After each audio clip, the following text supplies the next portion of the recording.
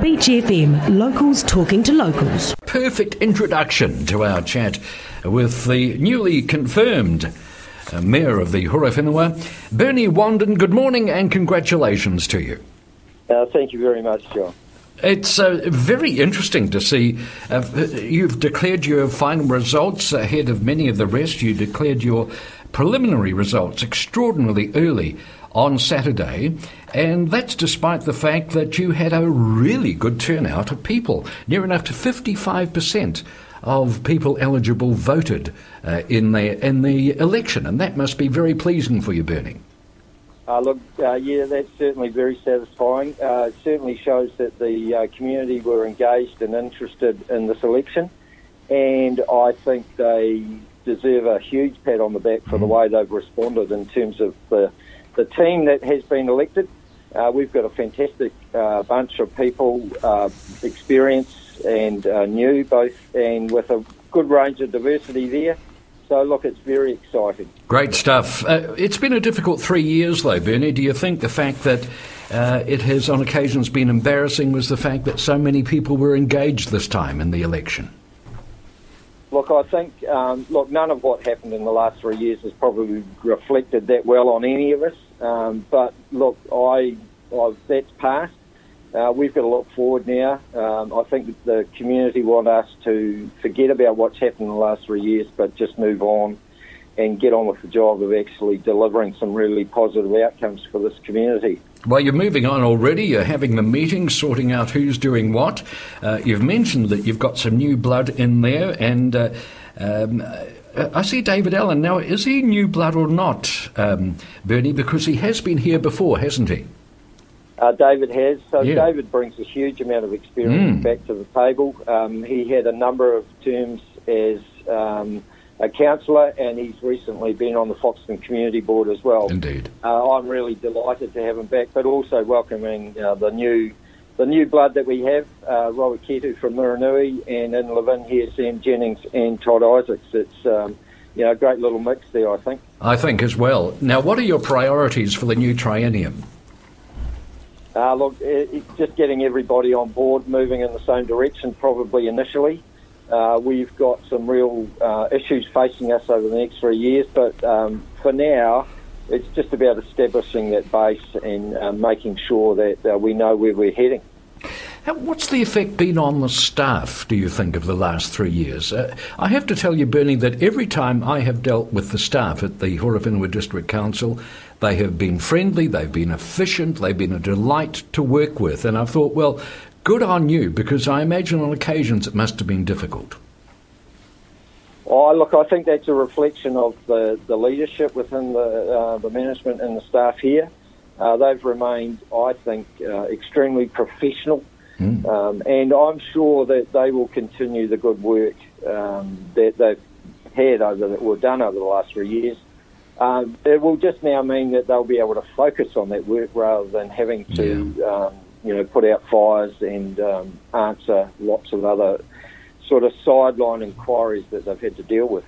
Speaking of putting out fires, water is pretty important in that kind of context. Do you think that water is one of the uh, issues that will you'll be focused on as a council?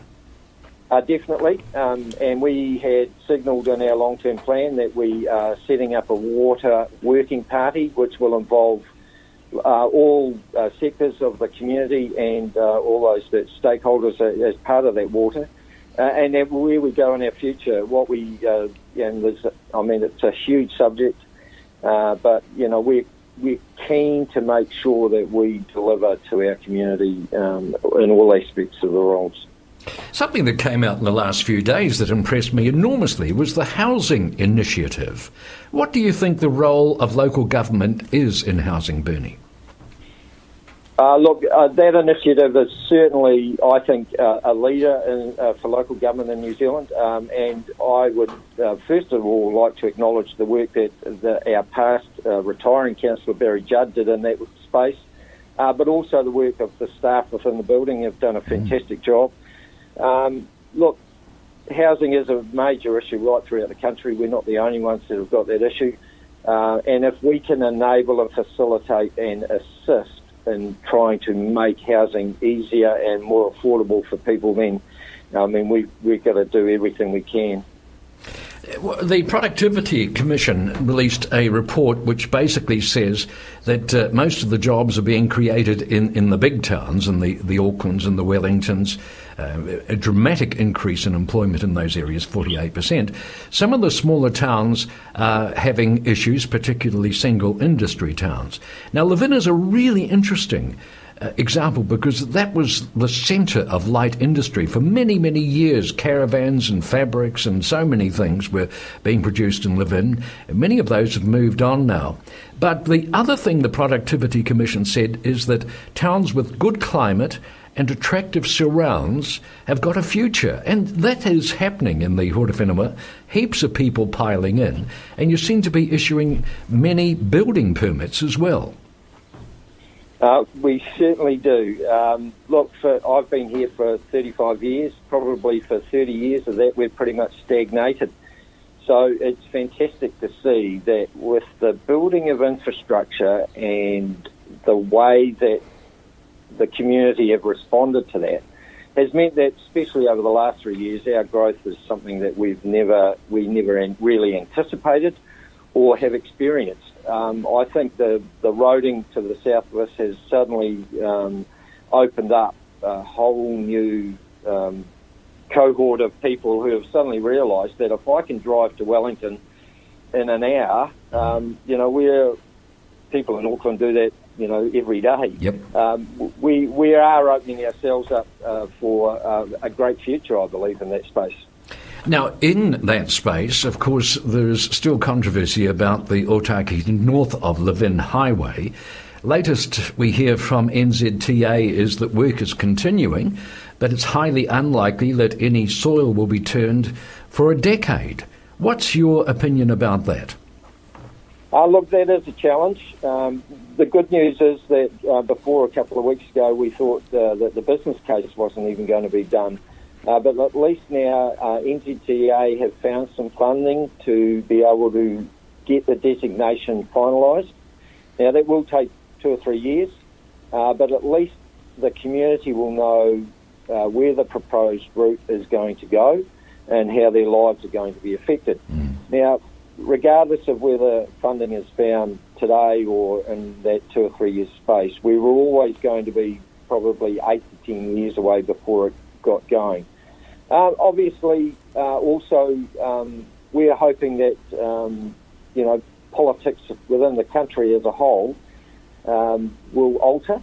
Um, you know, and there's hopefully there will be some funding um, designated for for our road uh, in the future because I do think that the road is really important for the whole country, not just this part of the, the region, but um, it's certainly for those um, territorial authorities to the north of here, uh, and will open up opportunities for them as well. And what's your view on whether it should be a, a two lane or a four lane highway? Oh, look, it will definitely be a four lane highway. I don't think there's any doubt about that. I think they initially said two lane just to try and save some money initially. Uh, we've been told that the designation will um, and the plans will definitely be for a four lane highway. And I think by the time they actually come to build it, I don't think there'll be any option but for them to do that. Bernie, down uh, in the, the Kapiti Coast area, the uh, KCDC formed what was virtually a syndicate with uh, NZTA and uh, had uh, a lot of say over uh, where and how that expressway was developed. Do you think that the Horowhenua District Council should enter such an arrangement? Look, I'm sure we will, um, John. I'm very um, already uh, sort of satisfied that there is enough people around the whole bottom half of the North Island who are keen for us to continue this uh, road. Uh, and I'm sure that there will be, uh, there's a lot of work already been done in that space. And um, look, I've already had talks with a couple of mayors around the region, and they're as keen as we are for that road to be built. So I'm sure they'll want to be part of everything that we do. Great stuff. Well, I happen to know you're on the job already and you've been having meetings this morning, beginning to allocate responsibilities. Great to see you hitting the ground running, and perhaps we can have a chat again sometime, Bernie. Look forward to it, John, um, and, and just to all the public out there, just thank you very much. I'm very honoured and privileged to be in this role and looking forward to the challenge uh, of the next three years. Bernie Wanden, Mayor of the Horowhenua, thank you very much for your time. 106.3 Beach FM.